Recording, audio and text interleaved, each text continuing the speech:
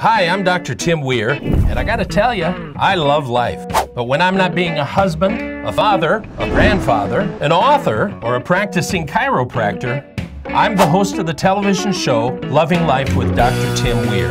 I love to cook. I love to travel.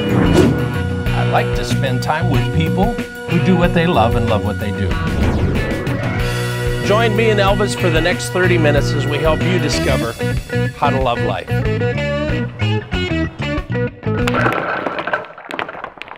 Hey, welcome to this episode of Loving Life. I'm glad you joined me today because I got some really cool stuff today. We have Dr. Barbara Lowe, psychologist. Wow, it's amazing information. We've got the mayor of Clayton, North Carolina, with us today. Donovan Lee, who's our friend from Rust-Oleum. We got a project we're going to work on together. And then my new friend, Sue Michaels from the Kitchen Store in Wake Forest. You're going to enjoy it. Let's get right to the show. Okay, I've made the discovery of the century and it's a little store in Wake Forest just opening up. It's called the Kitchen Store NC. Yep. And I'm with Sue Michaels. Sue, thank you for being with me and letting me come. I'm very excited to show you what I can do. Oh, I am. Uh, so today we're going to make uh, your famous cheese ball. The infamous cheese ball. Okay. Yes. It's it's not originally my recipe, but I've tweaked it. So we've got a package and a half of cream cheese, which we're going to throw it in the mixer if I can get it in there. And I like to leave it out so it's not, you know, hard as a rock. And then we're gonna add our other ingredients. And our other ingredients include fresh Parmesan. So you take your parm, it has to be Parmigiano Reggiano, it's gotta be the real stuff. Okay. And you take your microplane and you just grate it. Well, that's easy. So it becomes kind of a snowy mass. And for it almost looks like shredded coconut, doesn't yeah, it? Yeah, It's very, it's really tasty though. Go ahead, taste it. Oh, I couldn't. and then we're going to put a little mayo in there. Okay, so we're going to use, we used a third of a cup of parm. yeah, I have an extra one. I'll give you one. A third of a cup of parm, a fourth of a cup of mayo. Okay. By the way, this recipe is going to be on our website. This is very, very easy. Um, and if you like more parm, you put more parm. If you don't like parm, you don't put so much parm. Um, then we're going to put some fresh garlic. The fresh part is very important. I've got my whacker. That's See, how even I, I, can do that. Yeah, that's how I peel my garlic. It's yeah. just a lot easier. And then I use a press for this because I want it really, really small. I don't want it um, particularly large. Mm -hmm pieces, so I'm not going to cut it by hand. Take off its little off, tail. Yeah. yeah. this, this is a really old one. I've had this one for 30 some odd years. Man, that just poops it out, doesn't yep. it? Yep, and I like garlic, so I put a little extra in. The recipe, I think, calls for a half a teaspoon? No.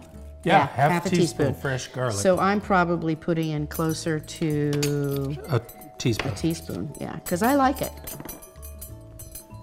And it's so really good, goes. really good for you. Good for your blood pressure, by the way, if you didn't know that, your blood pressure. Well, it's good garlic. for many things, yes. I think. Keeping away people you don't like. Exactly. No. Okay, half a teaspoon of basil. Now this is really nice if you use fresh basil, that's uh -huh. fine, but because it's much more readily available, dried works just fine. And yeah. I, I actually sell those too. Really? Yeah, the little the little jar thing? Yeah, sell everything. Okay. So now we're going to throw it in the mixer, mix it up. And what you're going to get, magic of television. Yes. Is a ball about, this is actually half of what you're going to get because I've done two. So smell. Yeah, smell good? So that you get the idea there. Yeah. Then you take your little guy, which you were working yesterday. That's a nut grinder. This is a nut grinder. You can throw it in a food processor. That's not going to hurt. Yeah. But I like this old-fashioned way. And I do toast my nuts beforehand. And the best tip I can give you on toasting nuts so you don't burn them is put your uh, put your whatever your container into mm -hmm. the oven when it's cold turn it on to 350, and when it reaches 350, you're done. How cool is that? Yeah, so then you don't have to worry. That was worth minutes. watching the show just right there. was it? Yes. Okay, so then let's bring that over. Didn't give myself very much room to work, We're fine. I? How fun is this, though? Okay, then I'm gonna pop my cheese ball in there. And you don't have to use nuts. If you have somebody who's not, you know, not can't eat nuts or something, you're gonna put this back in the fridge for about a half an hour just so it firms up a little bit because it's a little soft right now. As you see, I can form it. Listen, right here in Wake Forest, 70, 708 708 North Main. North Main Street, right here in Wake Forest. She also has cooking classes uh, that you can come to, uh, even for kids. Oh yeah. Really, uh, not that good. I'd have to try it, just this one to see. Sue, thank you for being with me. You're welcome. You're Thank so you for awesome. finding me. Oh man, check her out. I'm telling you, unbelievable. Don't change the channel because we got more coming up.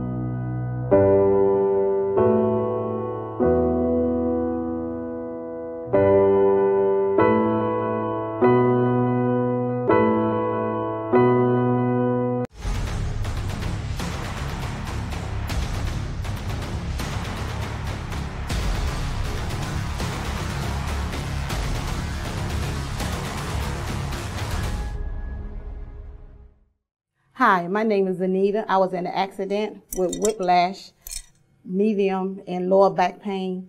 And I came to Raleigh Injury Chiropractic, and I believe it was the best thing I ever done. The staff here is wonderful. Dr. Weir is great. You might couldn't ask for nothing else better in Raleigh. And I'm glad to be here, and I'm glad to maintain my health. Hey, I'm Dr. Tim Weir. If you want results like Anita, call our office today, 919 790 1332. Call right now. Dr. Tim Weir wants people like you to enjoy life to the fullest, and he has written several books. These down to earth, easy to read resources will help you love life. For example, You're Not Crazy An Overcomer's Guide to Fibromyalgia. This book has helped hundreds of people. Or How to Reboot Your Brain When Drugs and Therapy Have Not Worked. This amazing book will help you or a loved one retrain the brain. Wake Up and Dream is a wake up call so you don't sleep through life. Go to www.drtimweir.com and order your copy today.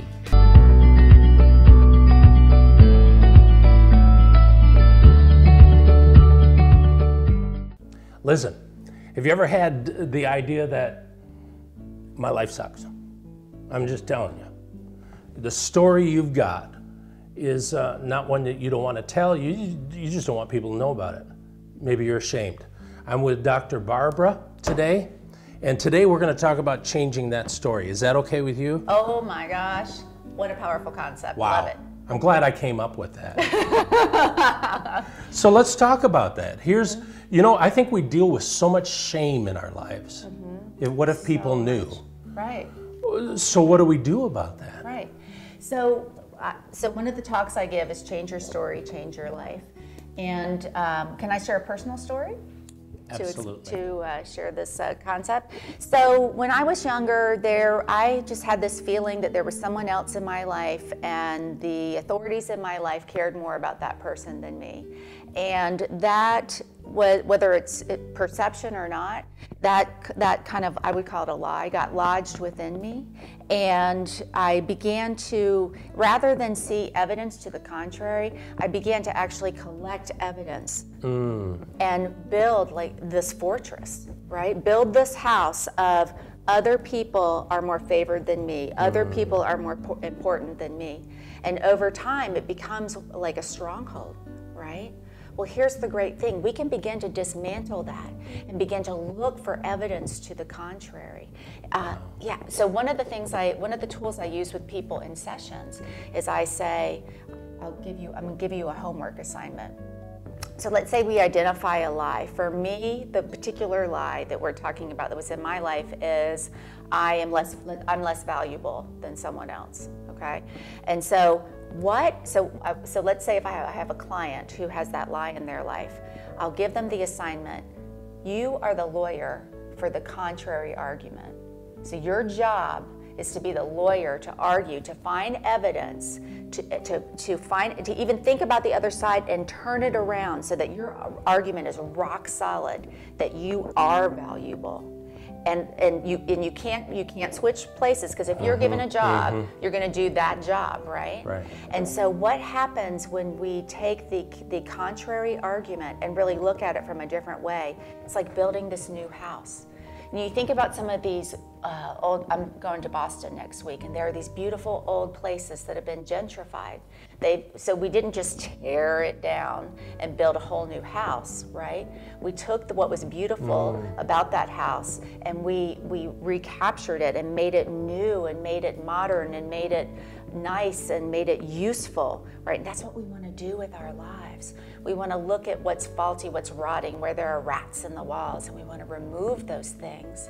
And we want to we want to build use because we are we are wonderfully and beautifully made. We're all we all need to be our true selves, but we want to look for where there's been devastation and replace those things with truth, with what is good, with what is useful, with what is helpful.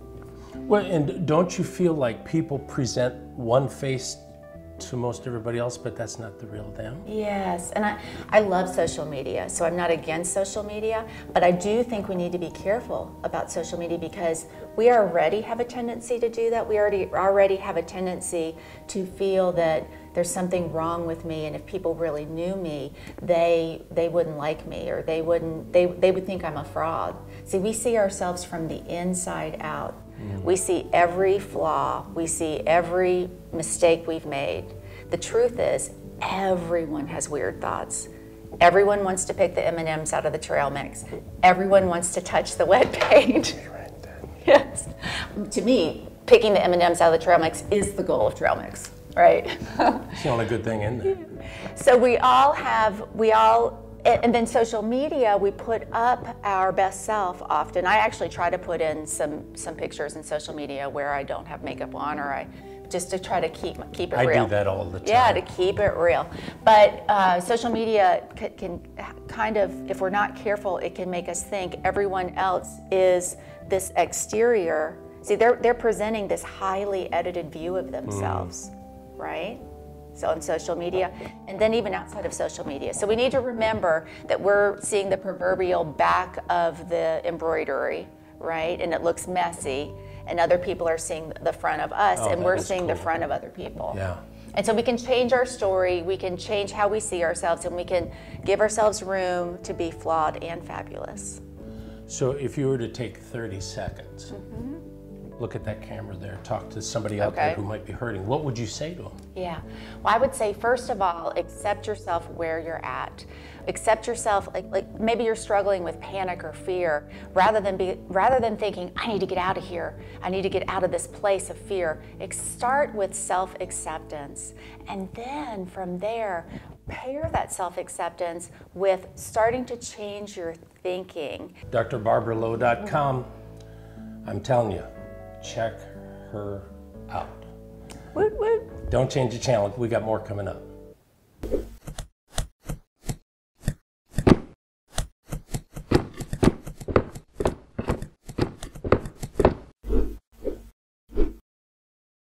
Uptone Pictures is a full service script to screen production company which can help you create the proper messaging for any number of applications.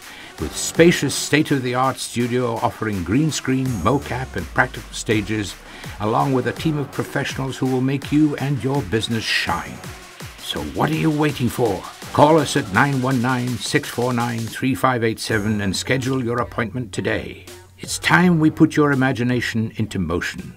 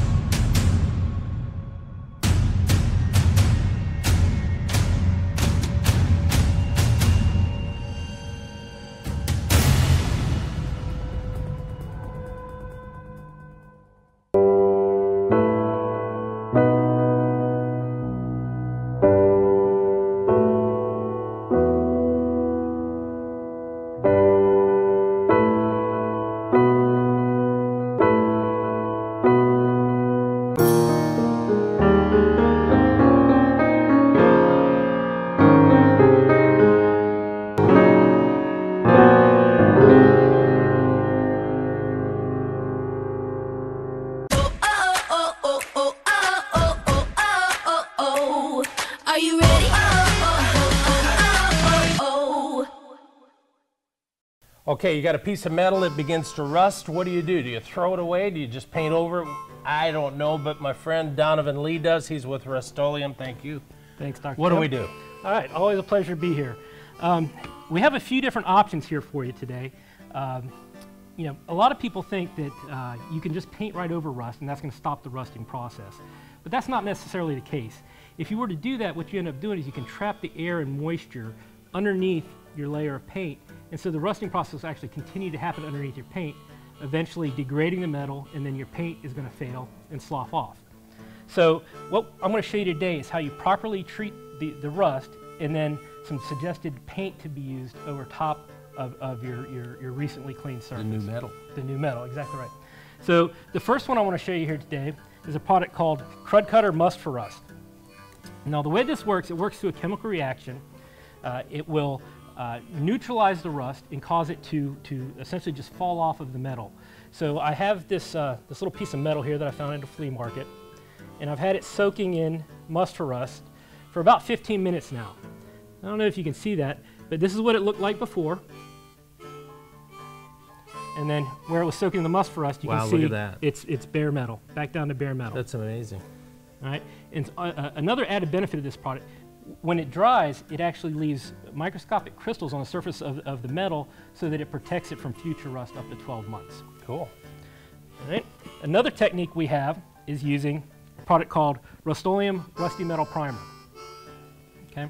The way this works is it's a very low viscosity paint and it's designed to get down in those microscopic nooks and crannies of rust and force out air and moisture that might be down in that rust. Because for rust to happen, there's three components. You need air, you need moisture, and you need a ferrous metal like steel or wrought iron. Okay. Okay. So if you can eliminate one of those three things, rust can no longer happen. So the way this works is it will get down in the nooks and crannies of rust and force out that air and moisture. So here's a couple irons that I got from a flea market. You can see here it was uh, it was pretty rusty when I first got it. So what I did was uh, first I would brush it with a wire brush just to get off any loose rust. Then I'd come back and spray it with the rusty metal primer. Now when you spray this, you're actually going to see small bubbles working their way through your wet primer. Really? And what's happening is it's forcing that air and moisture out. You're actually seeing it force it out of there.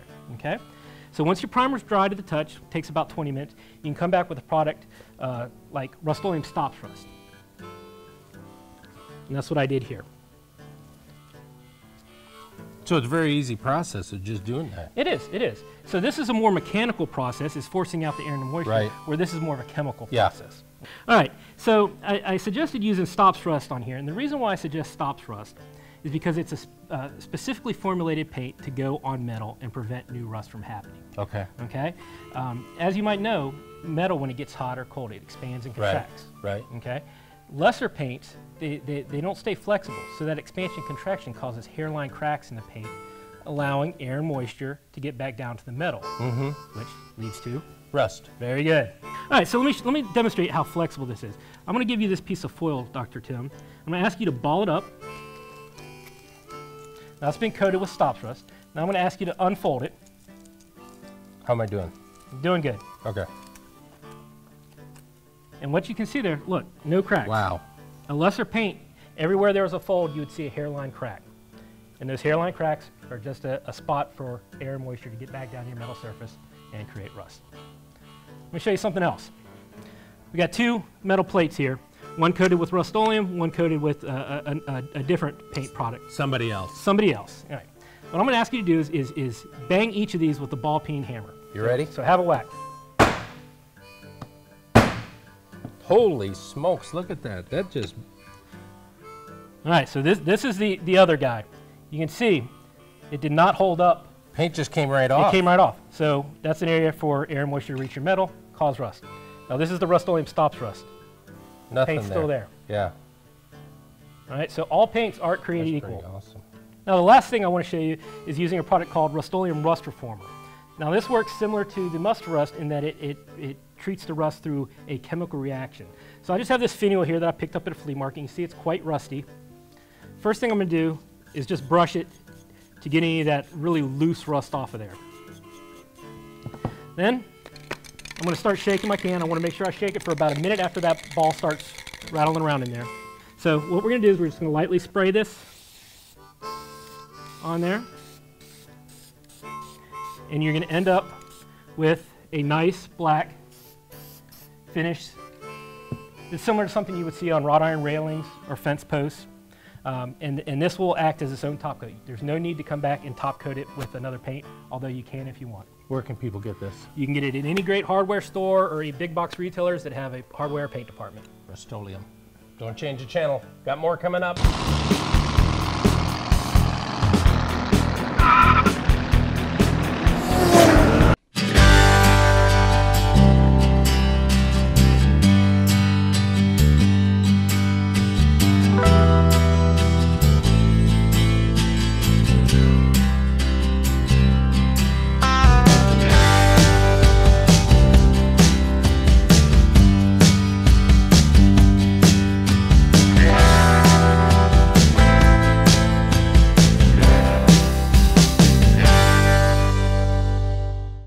Uptone Pictures is a full service script to screen production company which can help you create the proper messaging for any number of applications.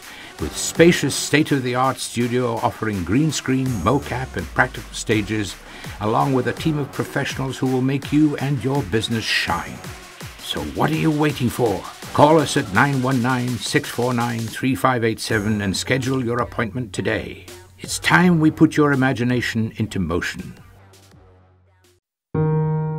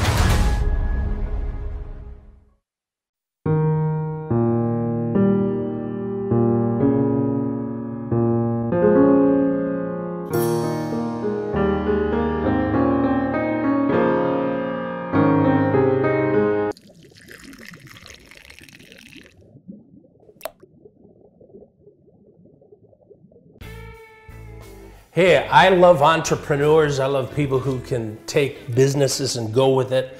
So I'm with businessman, entrepreneur Jody McLeod, but he is also the mayor of Clayton, North Carolina. That's correct. Thank you for being My with pleasure. me. Thank you for having me. So here you are, you got this successful business, and then you decide what?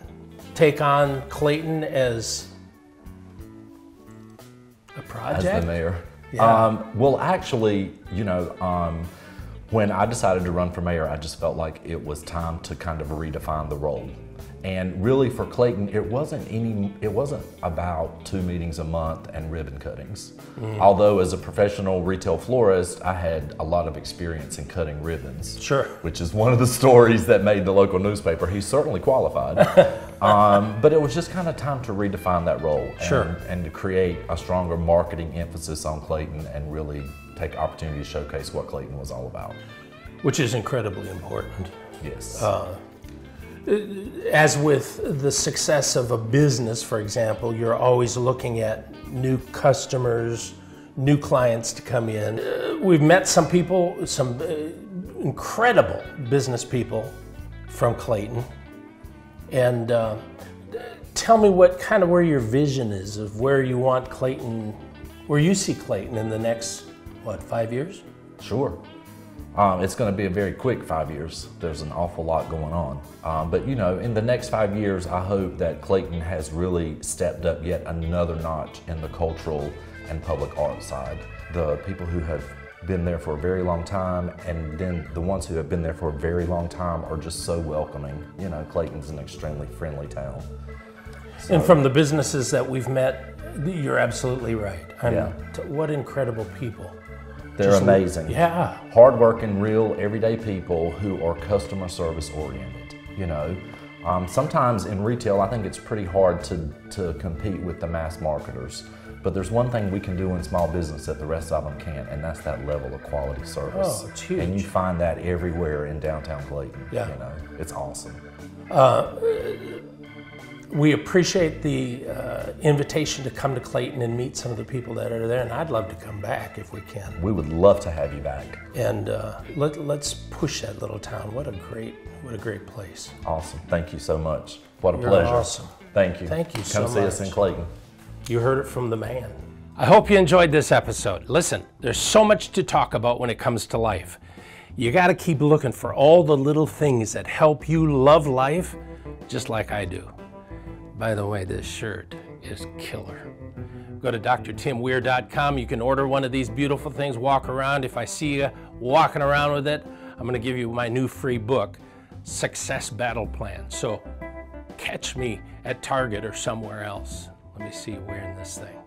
Go to our hashtag Dr. Tim Weir for uh, Instagram and for Twitter. I'm telling you, there's so much information that's out there. So until next week, keep loving life.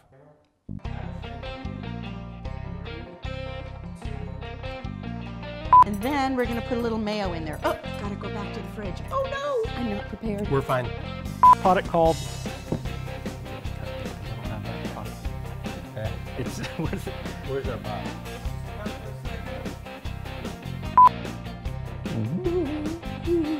Did I cover it up with fat? That's what it did. Would this be better off down here?